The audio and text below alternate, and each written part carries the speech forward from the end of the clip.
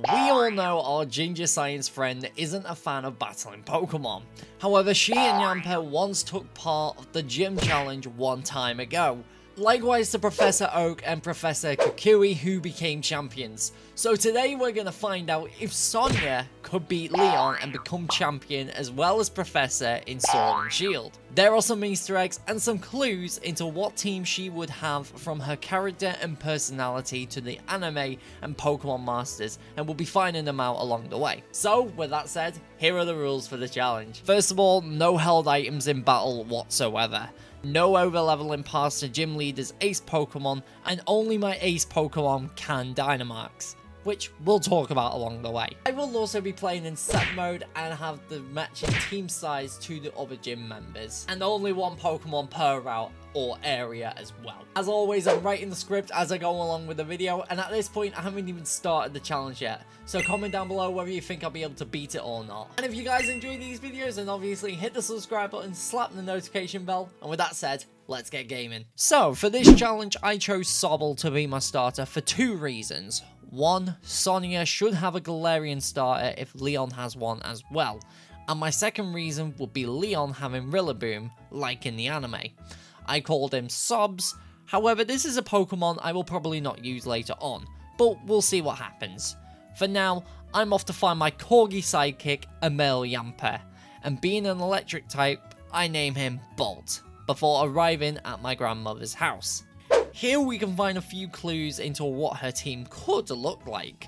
First, the Leaf logo on their board, suggesting her love for grass types, but also the research pictures of Butterfree, as well as Zubat, and also the bobbleheads of Hatterene's lineup, so already that's 5 Pokemon added to Sonia's decks. I should say there is no limit on how many we catch, especially with her being a professor, the goal is to make a team of 6 while still being able to beat the unbeatable champ. And that's exactly my plan. Oh no, Hop, why? I only have my poor Pop. A load of nuzzles and tail whips later and we scrape a win against our rival, with 3 HP remaining. This was actually very challenging and I enjoyed the fight. A couple of stars fell from the sky and this calls for myself and grandmother to build a Dynamax band. After that, we make haste back towards Route 1 again to catch another Pokemon, Caterpie. After all, it's something Sonia wanted when she was younger. We called him and don't really need to catch anything around the wild area at this time. So after grinding out some experience candy and Dynamax candy, PewDiePie evolved to Metapod and headed straight to Motostoke to check in. I chose uniform number 26, as that's her age. And instead of going to Route 3, I decided to take on a different approach and head to the Crown Tundra and Isle of Armor for a couple more team members. We arrive in this freezing cold environment in where I can barely feel my feet, but after helping this weirdo escape and getting made into a pancake by high horsepower, we're on course to Frostpoint Field, where we jump straight in a max raid battle for our bats. Then head towards the coastal Isles of Armor to recover after Humonia. From here, we beat a Padawan and its master. Avery loses it. What the heck? The Slowpokes are quicker than Sonic! So off on a wild goose chase we go, and we manage to bump into them. But it mows me down, putting me in the hospital. Once my insurance claim went through, we return the uniform in trade for our Kanto starter. Now hear me out. We know the grass symbol in the bedroom, and the fact Sonia dropped out of the gym challenge because of her friend and rival Leon. And Leon won, who was taught by Sonia, and also has a Kanto starter. So it makes sense that Sonia had a Kanto starter too, and the one weaker to his Charizard. Yep, I'm talking about our little green frog that I called Sprout. This will be Sonia's ace, so we can Gigantamax like Charizard. Oh no. That could change the entire run. For now, we head over to Route 3 to start farming the XP and levels where PewDiePie evolved to Butterfree, and Sprout evolving to Ivysaur from taking out our rival, being a school bully, and getting workers fired in the Galar mines. Along the way, we start talking to a boy in pink. Hey, you look cute. Can I have your number? Oh, like boys. Works for me. I let our little corgi do most of the job with Bite on Solosis and Gothita before finally going down to Hatenna. Sprout comes out for his Christmas friend to find out it doesn't like sprouts. so down it goes with two Razor leaps. Before arriving at Turffield, I find and catch an Eevee. For three reasons. One, I like Eevee. But the other two reasons are the fact that all evolutions are different and require different stones and tasks. I think it will be a great Pokemon scientifically for a Pokemon professor, but it would also counteract half of Leon's team. I call the Eevee Cookie before getting ran over by Milo's Wooloo, which I claimed on insurance after putting me in the hospital again. After recovering, it's time to take on the gym. But remember, Milo has only two Pokemon, so I must use two Pokemon. My choices being PewDiePie and Buffy. They were both 4 times resistant to grass types, so it should give me a good buff, especially with the fact that I can't Dynamax without Sprout. Two Gusts blow the Gossifleur away, quickly sending his Eldegoss for the Dynamax. It uses Max Overgrowth, which we resist and we chip away with Gust until its Dynamax turns are over, but a Max Strike knocks my Butterfly back to the ground. Buffy comes out and we start hitting with Poison Fang, badly poisoning. Two rounds get Buffy in the red, but three Poison Fangs and poison damage take Eldegoss out, winning us our grass badge. On the way to the next gym, Hulbury, I start grinding the rest of my team out. Sobs evolve into the Emo Lizard. We get stopped by more chaps, but it wasn't a problem for my little Corgi and nuzzling away, paralysing and taking out Zigzagoon, but Thievul was just too much beating up Bolt. I send out Sobs to finish the job with Water Pulse. Last Sableye and PewDiePie simply blows them away with two gusts. What? Why are you using my Rotom for the bike? It won't matter anyways because it spawns post-game and in thunderstorms. So I can't really get it. Anyways, a quick easy battle with Hop later and we're on our way to Hulbury. Our Buffy evolved to Golbat too. Before taking on our friend Nessa, we fly back to Motostoke for a makeover. Sonia's hairstyle and colour is very unique, so even I can't replicate it. This looks close enough. You look younger all of a sudden. Yeah, it's called science, mate. We sweep through the maze with ease and gain the right to challenge our mermaid friend. This round, we can Dynamax as I brought Sprout with us. Remember, Sprout is my battle ace, whereas Bolt is my loyal friend, who uses Nuzzle and paralyzes Goldeen, taking it out with two sparks. Arrokuda gets the same treatment with Nuzzle, though it still outspeeds. Two Aqua Jets get us in the red, but two Sparks was enough to take it out, leaving her Dynamax Drednaw, and wasting one of the turns Sweep and Bolt. Buffy comes out and we go for the Absorb. Even though it's 20 special, it's 4 times weaker. He goes for Max Geyser, activating Swift Swim, and takes Buffy out.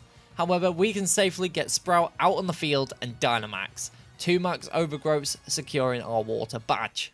We met up with the chairman and Miss Oleana alongside with the older version of me. I think I've done well to cosplay the best I can do with limited options. Bede is still rejecting to Todatas in the Galar mines, so another battle it is. Although it takes Bolt out instantly with a critical hit Psyshock.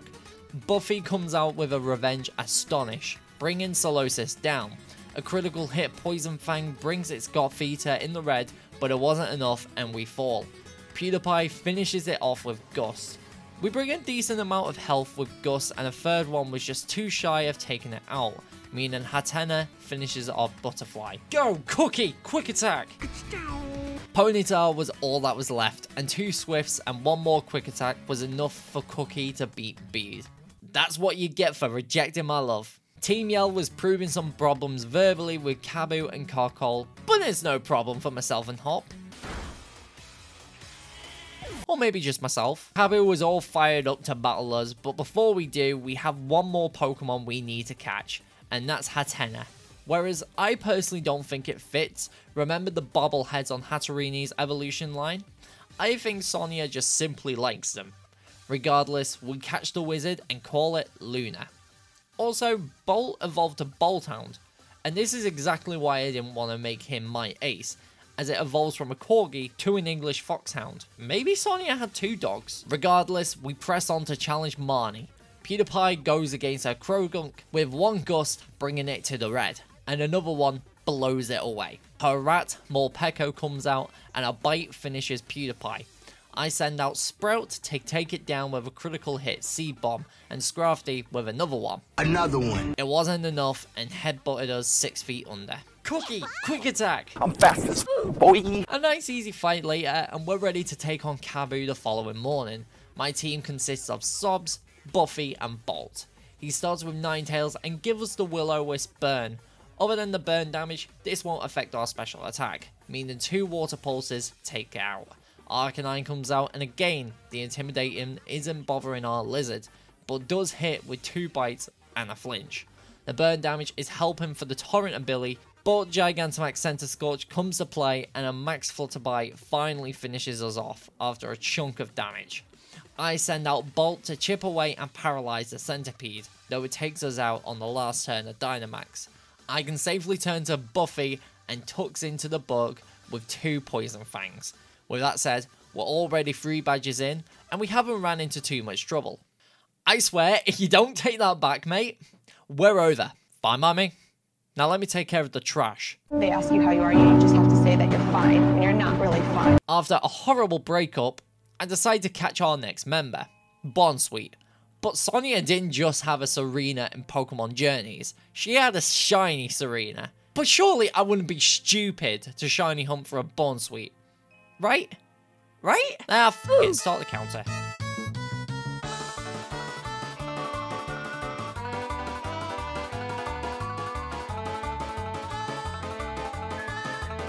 Much, much later. It's the next morning, and my partner took over while I was working on another video. We got our shiny Peach with a docile Magear. I called it Peachy and explored Hammerlocke, learning more about the history of Galar before dealing with Team Yell at Route 6. Oh my god, it's so cool! I couldn't use it against Stunky, so the rest of my team finish it off with ease and we're off to hunt for our next Pokemon, Yamask. And Buffy likes me so much, it evolved to Crobat. And Peachy also evolved to Steenee. My thoughts behind this next one is Leon's Aegislash represents Galar. I wanted something too. Stonjourner would have been the better choice as it represents ruins and the history like you see in Turffield. But as it's in sword only, I settled with Galarian Yamask with a unique evolution requirement and based upon ancient Galar ruins. Besides, it looks cooler. I called it Keket as that's a female goddess of darkness in ancient Egyptian history.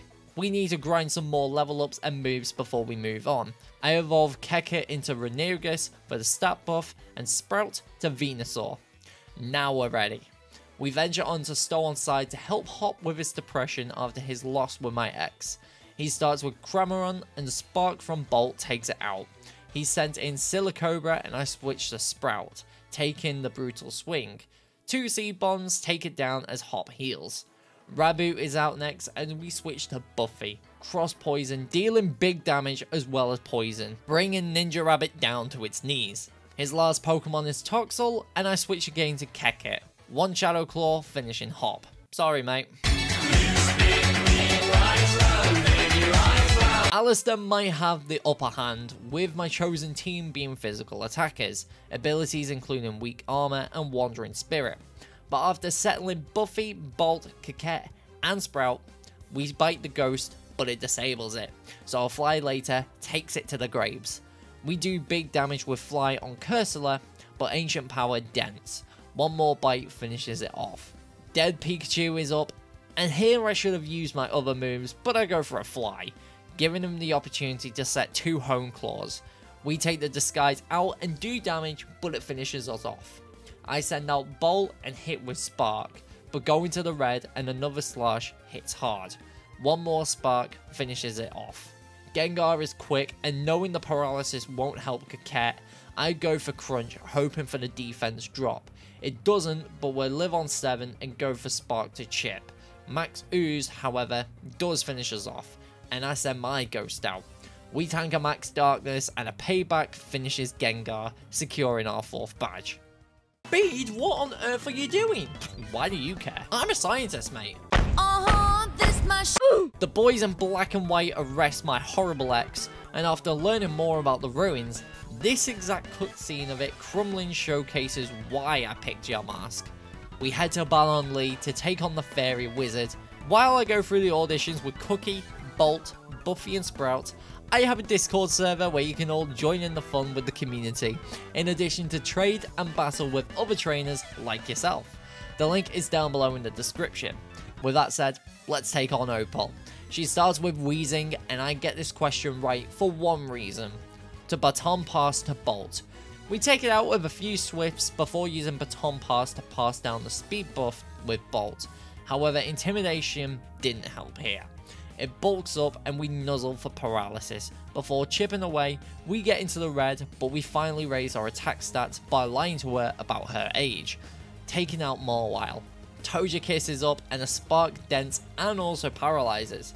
We tank another draining kiss with 2 HP and a second spark takes it down. She sends out Alcremie and I go for spark. Though it didn't dent and a G-Max finale brings us down. I bring out Buffy with Poison Fang and chip away as it continues to heal with the G-Max finale. Once the Dynamax is over, one more Poison Fang and it's over for the Fairy Gym. Come to laugh at me now I'm disqualified? Well, actually, yes, you are my ex. I am not your pink! Hub wanted another match, sending out Trevenant first. I bring out my bat and a single fly takes it down. His dog comes out and I hit hard with a cross poison and a roar sends out my dog. With it, I show my alpha dominance with a crunch and Hop sends out Cinderace. I bruise with a Thunderfang but his bunny scores a free kick with Pyro Ball. The next round is the exact same where I bring him into the red and he takes me out with another goal. Cookie Quick Attack. No hat trick for you. Snorlax is out and I chip away with Bite, though this was probably a bad idea while he stockpiles up. It takes down Cookie and Sprout, but finally Buffy comes back out and finishes with a critical hit cross poison. And another critical hit cross poison for this Anteater as well. We set forth for Circhester where we found a river island and bought a new bag. Hop lost to Melony, but surely it wouldn't be too challenging for Buffy, Cookie, Coquette and Bolt. Right? Right? Uh, well, no. G-Max Resonance and Darmanitan are just too strong. Luckily, I had an idea. Leon has a pseudo-legendary Dragapult, and I believe Sonia should too, but not a dragon. Sonia's team is about grass types, cute Pokemon, and scientific slash historical, but she also hangs out with a Beldum in the Crown Tundra DLC. And I managed to find one in the Snowslide Slope Den. I call it Steve. Steve! Steve! And I also found an Ice Stone, evolving my Cookie to Glaceon. With a change to my team and getting Steve to level with the team, it evolved to Metang, and we were already back at Melony's face. Crobat faces Frosmoth again, taking it out with a super effective fly. Darmanitan is up next, and I go for a cross poison, taking the poison stat. It takes us out with Icicle Crush, but poison damage triggers Zen mode, Panic him, I send out Coquette, and we survive a super effective ice cold Crush, but Payback takes it out. SQ is next and finishes Coquette's misery. I send out Bolt for Nuzzle. This activates Ice Face, but halves the speed, so we're still quicker. It couldn't move due to paralysis, and a Fire Fang and Crunch take it out. Gigantamax Lapras is also quick, so I go for Nuzzle to set, followed by a Thunderfang before finally going down to a G-Max Resonance. Steve is out next, and Brick Break destroys the Veil. She resets, so another Brick Break takes it down. She can't move to paralysis, and one more secures the badge. Our future self rewards us with Corey after recognizing the fifth tapestry, and after one last easy rival fight with Hop, we head south towards Spike Spikemuth. Come on, you're giving me a headache now. Marnie helps her sister into the hidden passageway, but obviously not without another battle. She sends out her cat, and I send my frog into battle. Two seed bombs taking it out. She did put Torment on us before going down, however, so we go for Synthesis while she gives us a swagger. We do decent damage with Seed Bomb, but the confusion and Torment is wasting time, so we switch to Steve, a poison jab not affecting us. However, she hits hard with Sucker Punch, but a Psychic from Steve knocks it cold. For Scrafty, I switch to Peachy. Oh, it's been a while. A couple of Trop Kicks to lower the attack stat, however it sets with Scary Face, so one more seals its fate. her Morpeko gets a bite of our fruit juice, but two more drop kicks wins us the match. My team was as follows, Steve, Cookie, Peachy, and Sprout. What a weird lunch. Piers brings Scrafty out and Steve tanks a sucker punch, retaliates him with Brick Break. I swap to Peachy to avoid the knockout, and Dazzling Gleam gets it to the red. One more Dazzling Gleam after Sand Attack takes it down. Malamar is out and I continue with Dazzling Gleam. However, it's not enough. A foul play takes our Peach out. I turn to Cookie, who without a decent moveset manages to take it down with an Icy Wind and Quick Attack. Obstagoon comes out to play and finishes it off with Throat Chop after Icy Wind. However, 3 Seed Bombs are enough to bring it down. His last Pokemon, Skuntank, tries to use Sucker Punch, but as I predicted it, I go for Synthesis, restoring our HP. I then decide to reduce its PP of Sucker Punch as that's its only known hard hitting damaging move. We're immune to Toxic, so Screech and Snarl remains. We tank onwards, chipping away with Tackle. Eventually the skunk falls and leaves the smelling aftermath. With that said, we're only one badge away from finishing the gym challenge. Loads of wild Pokemon and Dynamaxing out of nowhere, and I feel I need to do my part to assist Leon and my future self. But they tell me to keep my eyes on Raihan, and after farming for new moves and Steve evolving to Metagross, we were on our way to take on the final gym challenge. Cookie will be a huge help here. Harry Potter and Ron. My name's not Ron. They were easy to finish off with Ice Beam from Cookie, Zen Headbutt from Metagross, and Acrobatics from Peachy. We were ready to take on Raihan. Peachy goes above the level cap unfortunately, so we have to swap to Buffy being immune to ground typing. She and Cookie are up first against Flygon and Gigalith, and one Ice Beam takes out the dragon, whereas a bite from Buffy flinches the rock. Sandaconda comes out next, which goes down to another Ice Beam. The office blocks Gigantamaxes, and I decide to waste a turn of Dynamax with Fly. This should help me stall. I would also be able to use Bulldoze safely, so I switched Cookie to Steve. Sadly, it targets my bat and down she falls. I go for the Gigantamax and Max Guard for the final turn in case it takes target on my Sprout. Once the Dynamax is over and the Sandstorm subsides, one low health Vine Lash at the rock pins it down, and a Bulldoze from Steve secures our final badge. This is where things become problematic. Remember the EXP charm? Yeah, it really messed me up here, bringing my Pokemon over the semi-final level cap, so I can't even use my competitive team. So to tackle Marnie, I have to put away Steve and Coquette and bring out Luna, who will be good for this fight. Besides, she still needs to evolve. I start with Luna against Liepard and a Carmine to set up later. Two Dazzling Gleams take it out, but not without barely hanging on after a Snarl. Sprout comes out after Luna's beat him. There was no way she would have survived that. I go straight for the Gigantamax and Vine Lash and Max Ooze finish Scrafty.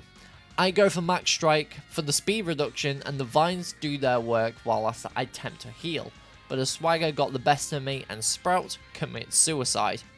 I sent Peachy to perform gymnastics aggressively and get the knockout on Toxicroak. Morpeko is out by Dazzling Gleam, one more defeats the mouse. Her ace Grimmsnarl comes out and I wasn't sure if I was going to defeat it, but a drop kick takes a chunk out and reduces the attack stat. Torment is still up, so a super effective Dazzling Gleam bruises. However, we couldn't withstand another Max Darkness and we went down. I send out our dog and bite him good with a Thunder Fang. However, it yeets our doggy with a Darkest Lariat. It's all up to Glaceon and Ice Beam. Marnie hits us with Torment, but another Ice Beam was enough to finish the battle. At least Luna evolved to Hatterene. Well, almost all my team were above the level cap. If I didn't have spare Pokemon, the run would have been over with. Luckily, I grind Sobs, Luna, and PewDiePie to the level cap before taking on Hulk. Bolt and Steve were still on 49, so we're still good there. In order for me to win, I had to be really lucky. First, I need to set up Quiver Dance while he sets up Cotton Guard. If not, the battle's lost. I need an air slash flinch, otherwise we'll lose PewDiePie and then I'll be able to knock out with Bug Buzz. But this took many attempts. Until suddenly, after nearly calling it a night, he sets up Cotton Guard. That means we had a free turn to bulk up, hit an air slash, which unfortunately did not flinch, and one bug buzz finishes Dubwool off. His Pincurchin got hit hard with bug buzz, but we do fall to thunderbolt. However, our foxhound finishes up the urchin, and one strong jaw crunch takes it out. His Snorlax comes out to play and a critical hit high horsepower nearly takes us out, but we barely hold on and it gives us a chance to swap to Steve. I needed him specifically for Hammer Arm on Snorlax.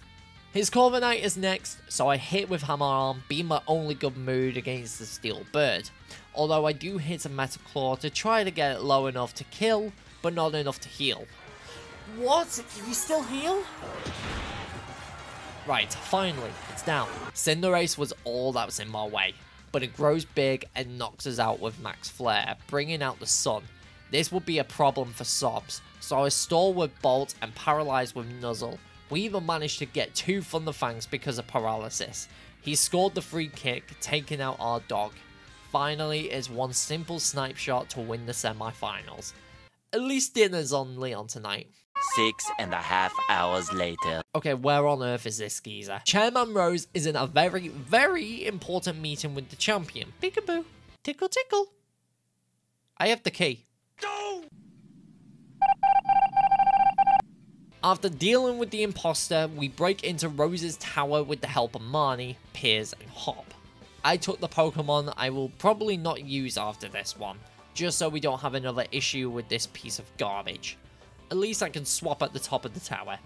Oleana wants us out, so we say no. Oleana starts with Frostlass and hits us with a Will-O-Wisp, something I wasn't wanting, but two crunches takes down the ghost, and Fuss sends out her fish. My team were mainly physical and slower, so we nuzzle on Milotic, followed by Thunderfangs until one of us gives in. After getting it down to half health, it hits us with Surf and our dog goes down. I go for Peachy and the Trop Kick was just enough to take it out. I then switch when Salazzle comes out. It's Evil Lizard against Agent Sobs.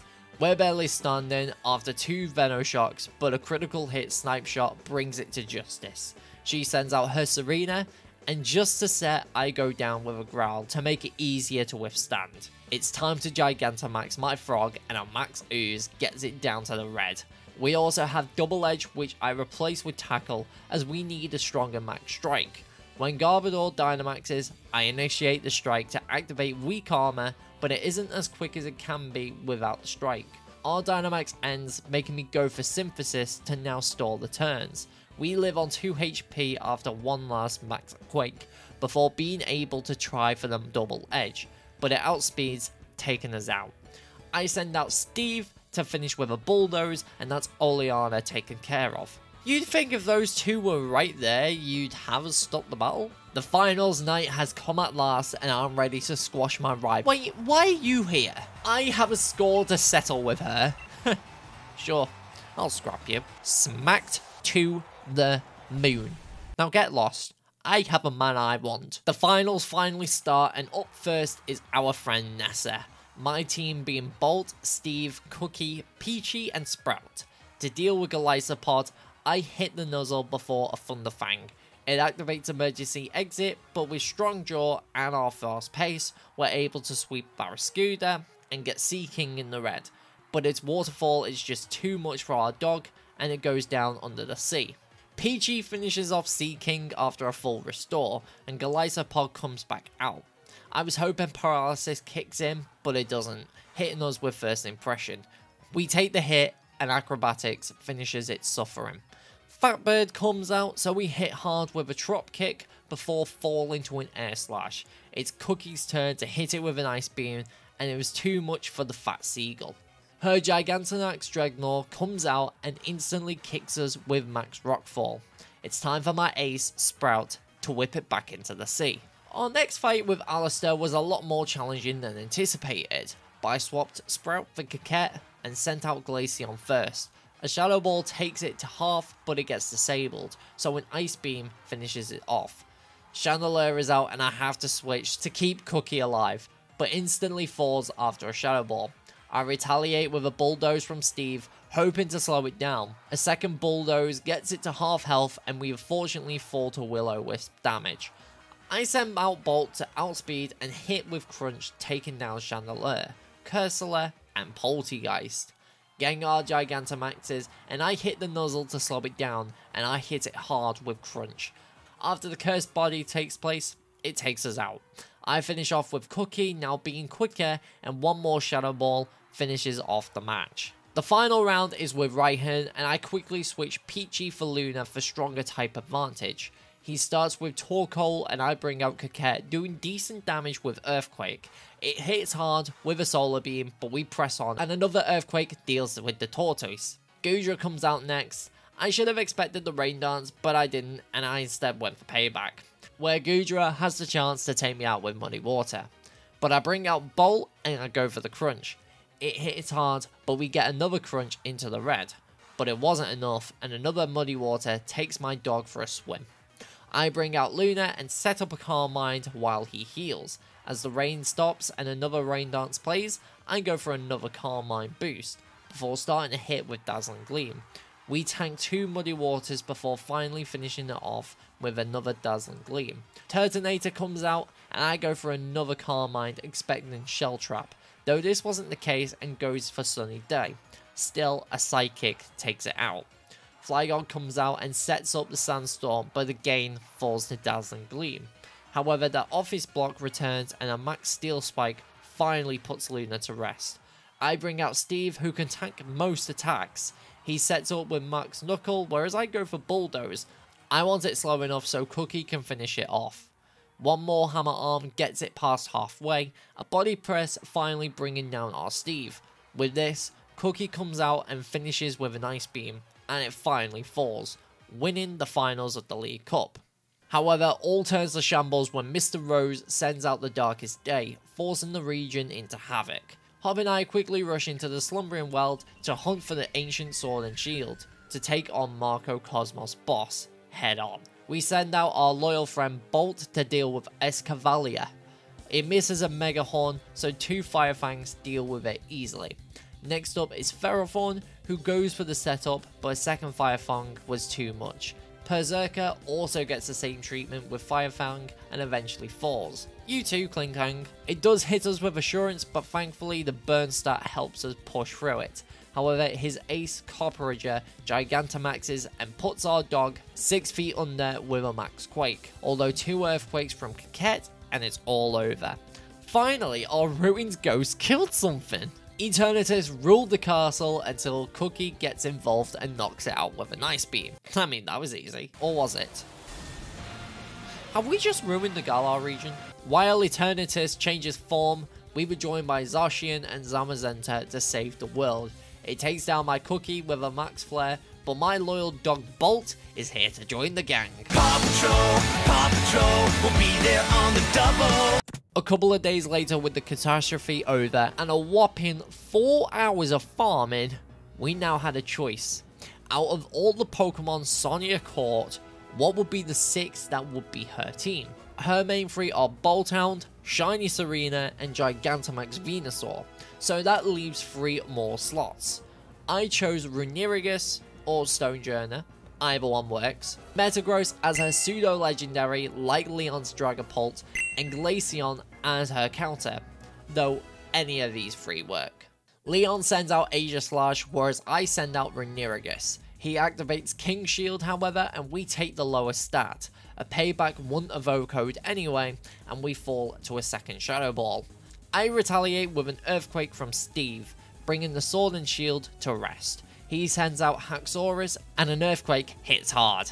But we hit a Bulldoze to lower the speed, and that should help Cookie. Another Bulldoze gets it down to half, but we go down with another Earthquake. I now send out Cookie to hit hard with Ice Beam and guarantee the knockout.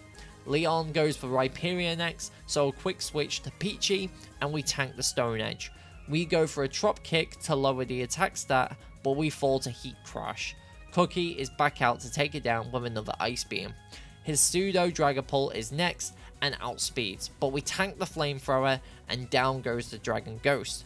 We also tank a high horsepower from Rillaboom and it's the same fate like the others. Ice Beam. Leon's Charizard is out and Max Rockfall knocks us out. I then send out Sprout and Gigantamax and hit the Max Guard to stall. Our Pokemon are surrounded by fire, but we set the vines as well and lower his speed with a 114 Max Strike. This really dents Charizard, but the Sandstorm and Vines get him in the red, so I take the risk and go for a critical double edge. Sprout has done its job. Bolt is last to come out, and one Thunderfang wins us the championship. So, ladies and gentlemen, it is in fact possible for Sonia to defeat Leon and become champion of Galar and its professor. This was a really fun and different approach, so I hope you all enjoyed it. If you did, leave a like, subscribe down below, and ding on the notification bell. Thank you all very much for watching, and I'll see you in the next video. Bye bye.